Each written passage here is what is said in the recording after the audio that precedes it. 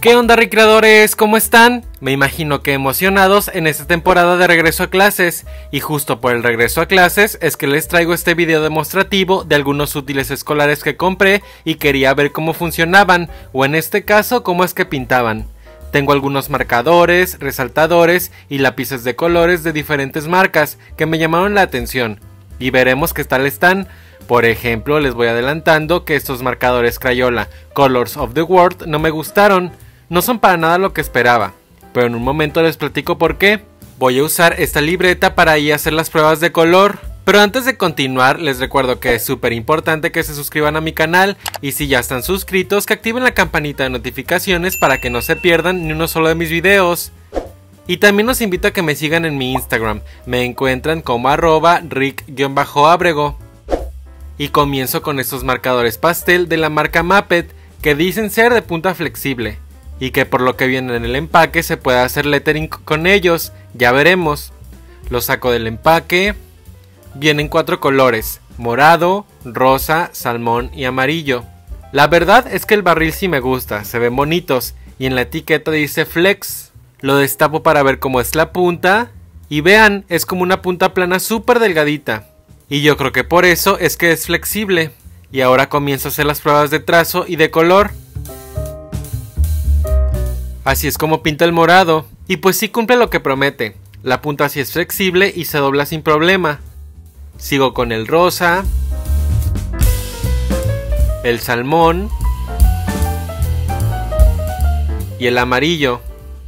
Son colores muy bonitos y muy brillantes. Y ahora voy a tratar de hacer lettering con ellos escribiendo amor.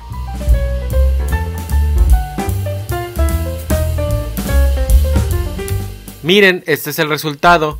Creo que sí es posible hacer este tipo de letra, pero no es tan sencillo.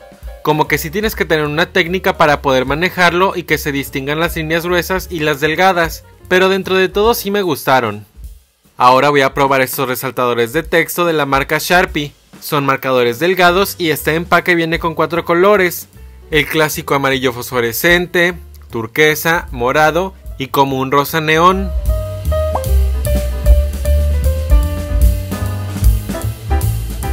La punta es biselada de un tamaño promedio. Y en la libreta hago la prueba de color. El morado, el amarillo fosforescente, el rosa o magenta neón y el turquesa. La verdad también me gustaron.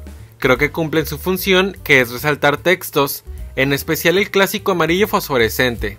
Y siguiendo con los resaltadores Sharpie, también tengo estos que son más gruesos.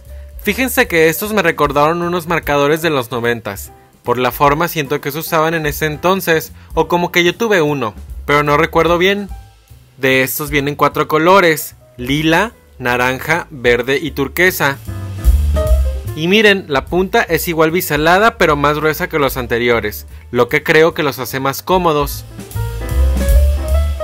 Hago las pruebas de color en la libreta, primero el lila, que si se fijan bien es un tono diferente al resaltador de arriba, aunque los dos son marca Sharpie. Después el naranja, el verde, que este se ve muy fosforescente, pensé que iba a ser más pastel, y el turquesa. Y pues sí, estos también me gustaron, en especial el lila y el turquesa. Ahora voy a probar estos marcadores Big Intensity de doble punta, que también vienen como en tonos pastel.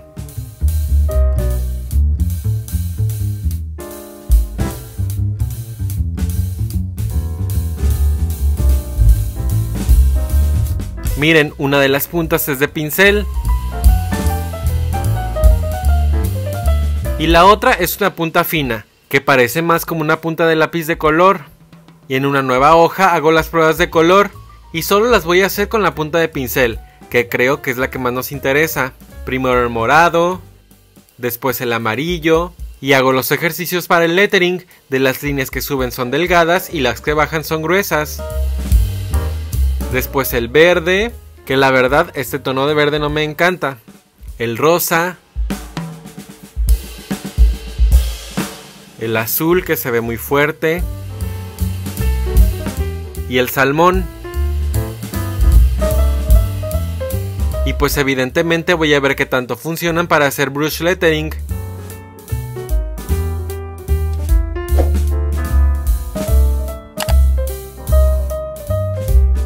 Pues fíjense que sí tienen buena punta y funcionan muy bien para hacer brush lettering, sí me gustaron.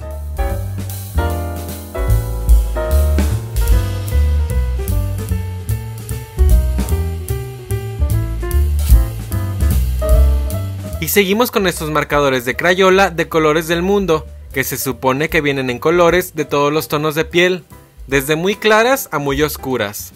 Y como les platicaba no me encantaron, y puede ser porque yo esperaba otra cosa, pero en realidad no son malos. Miren. Vienen divididos en tres paquetes diferentes. No sé realmente a qué se debe esto, pero me pareció extraño. Cuando los sacamos de las cajitas vienen de esta manera, y para que se den una idea son más delgados que los Crayola Super Tips, y la verdad no se ven tan de buena calidad yo creo que justo por este tema es mi desagrado. La punta de estos marcadores también es súper delgadita, como que me da la impresión que son más para escribir que para colorear.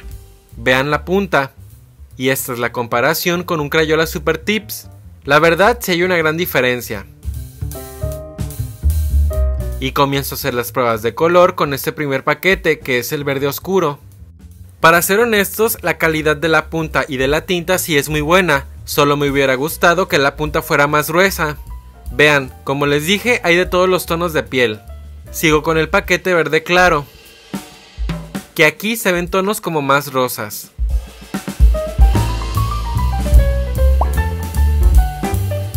Y por último el paquete amarillo.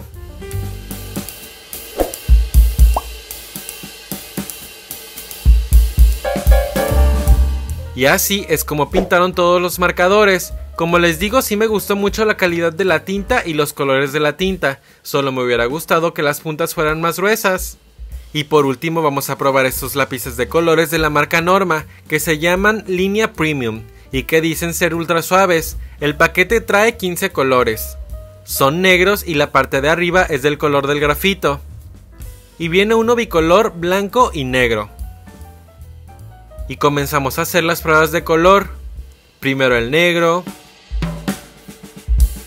azul marino, azul rey, morado, café, turquesa, rojo, naranja, amarillo, verde, rosa, rosa más bajito, verde bajito y salmón. Y son todos. Fíjense que sí se sienten muy suaves y colorean muy bien. Por la misma suavidad, este tipo de colores se desgastan muy rápido, pero es muy sencillo colorear con ellos, si me gustaron. Y eso es todo por el video de hoy, espero que les haya gustado mucho esta revisión de útiles escolares y coméntenme ustedes cuáles tienen o cuáles se comprarían y qué les gustaría ver en los próximos videos. Nos vemos, besos, bye.